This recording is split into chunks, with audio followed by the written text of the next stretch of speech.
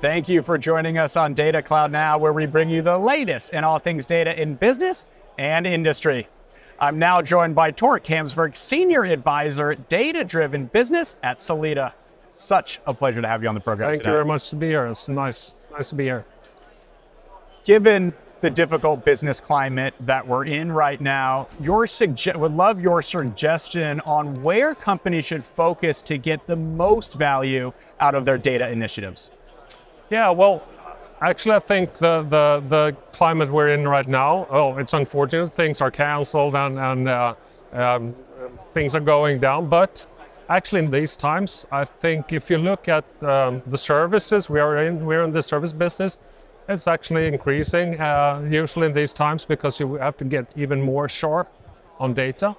Um, that, that's that's my conclusion, um, and and I think that if you look at the opportunities here to to how to handle that from a data perspective, perhaps you should get that theme into the innovation process around data actually uh, because uh, rough times or that's a force of, of innovation.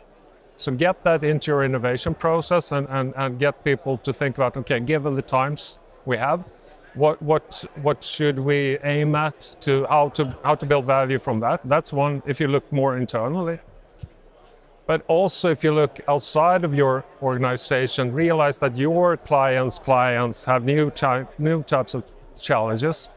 And perhaps this is a good opportunity to tap into your your clients' uh, relationship to their clients. So, so try to innovate how to support them and perhaps look at uh, external use cases and also towards suppliers because the, the, you, you, if you find value there, you can actually build an extremely strong relationship to, to, uh, to your clients uh, if you help them in their business. Um, so external data products might be more in focus in these times and that's actually something we see more of actually, uh, uh, more that that the, the usage of your data goes beyond outside your own organization more. Yeah. You know, during tough economic times also great opportunity i want to take a step outside of tech.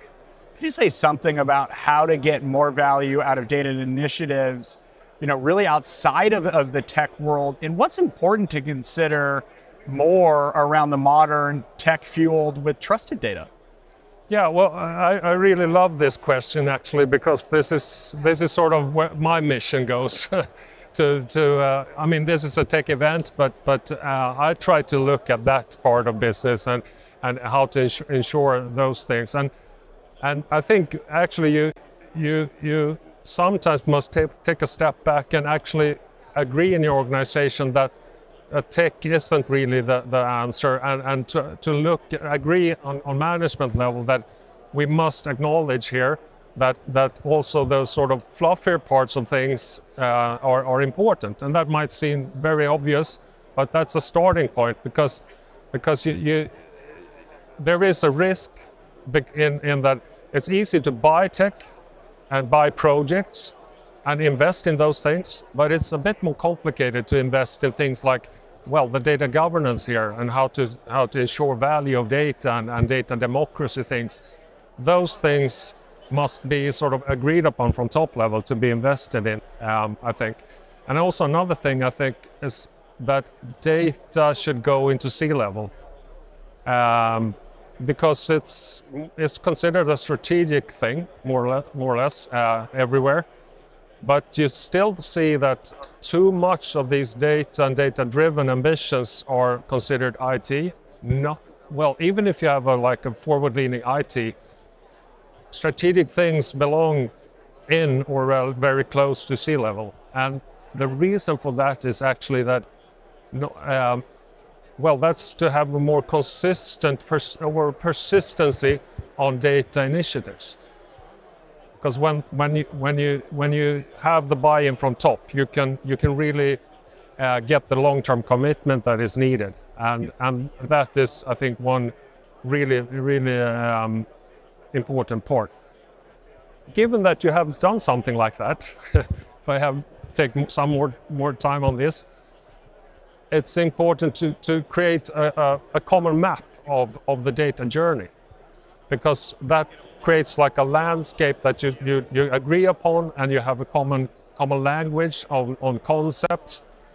And, and that is also really uh, important when you take decisions together you, you know what you're talking about. And, and, and actually we we we have put a lot of emphasis on this.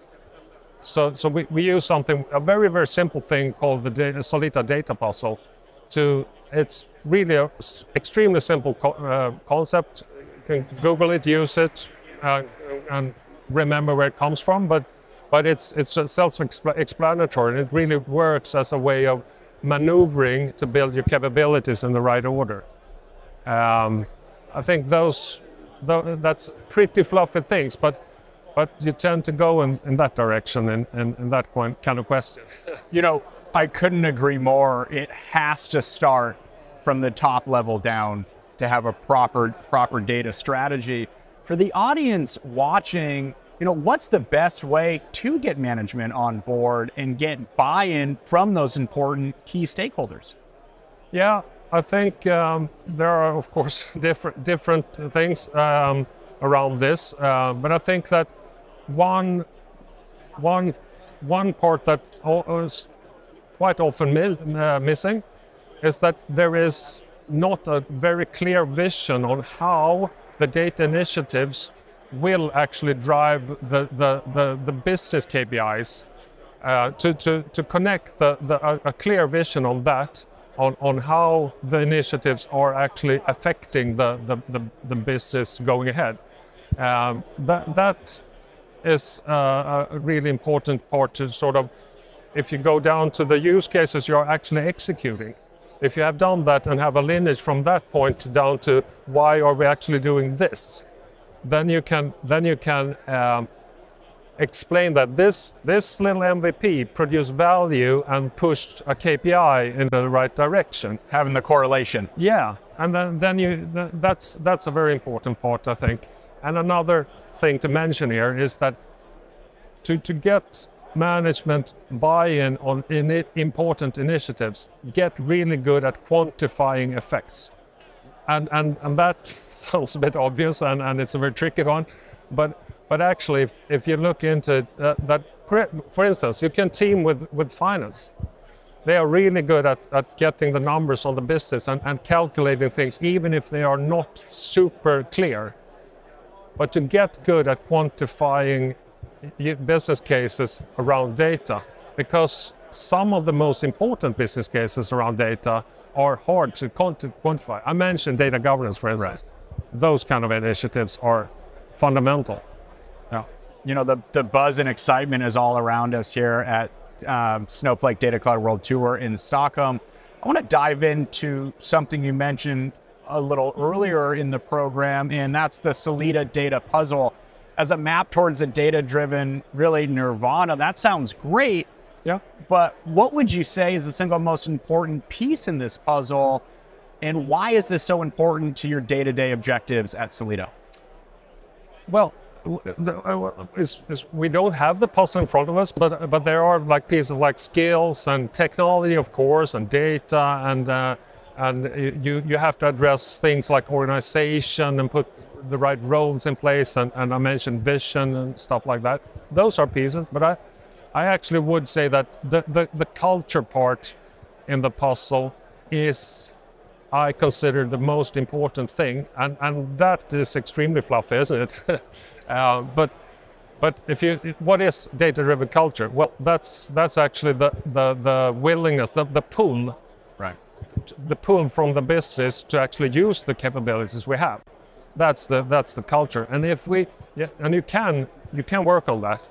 And and when you get an, uh, an organization that really wants to change, to, to listen to the data and, and, and actually challenge ongoing business based on, on data uh, and things like that, and really want to do that, it becomes fun. And I think that everything, if you look around you, everything that are that, that, are, that is fun usually gets done in a good way. And the opposite goes as well, that if you are forced upon something, that you should listen to these numbers. that's your job. It doesn't really get fun, and it per- perhaps you try to find ways around it. To get that pull, uh, that's the culture, and you can change it. You can you can have that as a part of your roadmap on actions on how to build culture. Um, I think I think another element too that's going to be so important over the coming months and years for internal teams is data literacy as well. Yeah. Because you need everyone really singing and playing from the same same playbook, if you will, Tor. Yeah, and, and, and uh, you could do the, take that analogy a step uh, further, actually, because you have the literacy. Right. That's the ability to do things. But you also must want to use it. Right. And, and, and so the, the, that's, that's the culture. Uh, and good examples, the right people, the right attitude, the right actually from top uh, promoting things that are using the data possibilities. That's building culture. And, and also the right partners as well. And I know I'm looking at Solita's booth right Yeah, behind you here one. at um, Data Cloud World Tour here in Yeah. Stockholm. Tor, such a pleasure having you on Data Cloud now. Any final remarks you'd like to deliver to the audience watching?